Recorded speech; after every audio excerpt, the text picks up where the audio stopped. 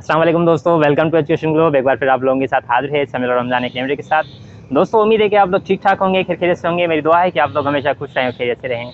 दोस्तों, आज की इस वीडियो में हम लोग जो है वो S C S five to fifteen के हवाले से जिन लोगों ने जो है वो ये टेस्ट पास कर लिया यानी कि फोर्टी मार्क्स तक ले लिए हैं या फिर उससे ज़्यादा लिए हैं, यानी कि जिन्होंने टेस्ट को क्लियर कर दिया है। तो अभी काफ़ी सारे कैंडिडेट जो है वो सवाल कर रहे हैं कि, सर टेस्ट क्लियर करने के बाद क्या हमें जॉब मिल जाएगी? काफ़ी सारे लोगों के जहनों में ये है कि भाई हमने टेस्ट क्लियर कर ली तो अभी हमें जो ऐसे ही जॉब मिल जाएगी तो ऐसा बिल्कुल भी नहीं है। तो इन्होंने जो है वो एक क्राइटेरिया बनाई थी, आप लोगों ने शायद वो देखी होगी, मैंने पहले शेयर की थी, अगर किसी ने नहीं देखी तो मैं आप लोगों को इस वीडियो में क्लियर कर दूँगा। आप लोग ये वीडियो इन तक लाजमी देखिएगा और अगर आप हमारे चैनल पर नए हैं तो हमारे चैनल को सब्सक्राइब कर लें। तो सबसे पहले आते हैं कि ये क्या करेंगे कि सबसे पहले अगर आपने टेस्ट में जितने मार्क्स फॉर एग्जांपल किसी कैंडिडेट ने सिक्सटी मार्क्स लिए हैं तो उस सिक्सटी मार्क्स को वो आधा कर देंगे, यानी कि फिफ्टी परसेंट आपकी मार्क्स में से लेंगे। अगर आपने सिक्सटी मार्क्स लिए हैं तो थर्टी आपका वहाँ से लेंगे। उसके बाद आपकी जो ट्वेंटी परसेंट मार्क्स होंगी, वो आपकी जो है वो एजुकेशनल क्वालिफिकेशन से लेंगे।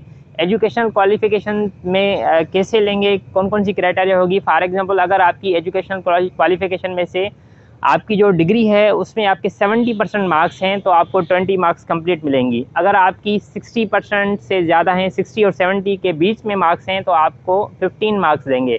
अगर आपकी वहाँ पे परसेंटेज 50 से लेकर 60 तक है तो आपको 10 मार्क्स देंगे 20 में से। और उसके बाद बाकी 30 परसेंट जो है, वो आपके इंटरव्यू पे होंगे। इंटरव्यू में भी इन लोगों ने जो है, तीन कैटेगरीज बना दी हैं। इंटरव्यू में पहली कैटेगरी जो होगी, आपकी पर्सनैलिटी के हिसाब से आपको मार्क्स देंगे, एट जो है वो मार्क्स पर्सनैलिटी पे मिलेंगी और एट मार्क्स आपको जो है वो सब्जेक्टिव यानी कि जो भी आपके सब्जेक्ट वगैरह होंगे तो उस हवाले से आपसे जो है वो क्वेश्चनिंग वगैरह करेंगे तो एट मार्क्स आपकी उस पर मिलेंगी। बाकी जो आपकी मार्क्स इसमें बचती हैं तो उस, वो आपको मार्क्स जो है वो आपके इंटरव्यू पे, यानी कि आपकी जो एजुकेशनल क्वालिफिकेशन होगी तो उससे रिलेटेड जो भी आपसे क्वेश्चनिंग करेंगे तो उससे देंगे। यानी कि इन लोगों ने जो 100 मार्क्स को जो है वो कैटेगराइज किया है, सबसे पहले आपकी जो 20 परसेंट आपको जो है वो इंटरव्यू पे देंगे, ठीक है? सॉरी थर्टी परसेंट आपको इंटरव्यू पे देंगे और ट्वेंटी परसेंट आपकी एजुकेशनल क्वालिफिकेशन पे देंगे, जो मैंने आपको अभी बता दी जैसे जैसे मैंने आपको गाइड किया वैसे। और बाकी जो आपकी फिफ्टी परसेंट है, वो आपकी मार्क्स में से लेंगे, यानी कि जितनी भी आप लोग ने मार्क्स ली होंगी तो वहाँ से लेंगे।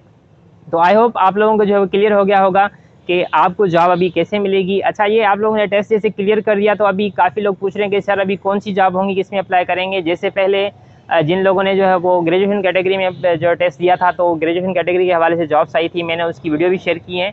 तो अभी जैसे ही इंटरमीडिएट कैटेगरी में जॉब्स आएँगी तो उसकी भी वीडियो बना के मैं आप लोगों के साथ शेयर करूँगा। तो उसमें जस्ट आप लोगों को अप्लाई करना होगा, यानी कि आपके एजुकेशनल क्वालिफिकेशन के जो भी डॉक्यूमेंट्स होंगे तो वो आप वहाँ पे सेंड करेंगे। प्लस में आपकी जो मार्क्स है एस टी एस वालों की तो उससे भी आप स्क्रीन लेकर वो भी शेयर करेंगे। ठीक है? जैसे ही आपका रिज़ल्ट फाइनल आ जाएगा तो उसके बाद तो उसके बाद आपको इंटरव्यू पे बुलाएँगे। इंटरव्यू कॉल करने के बाद आपका ये प्रोसीजर होगा जो मैंने आप लोगों को बताया। तो दोस्तों, ये थी एक छोटी सी वीडियो। यकीन आप लोगों को क्लियर हो गई होगी। अगर आपको हमारी ये वीडियो पसंद आई है तो हमारी इस वीडियो को लाइक करें।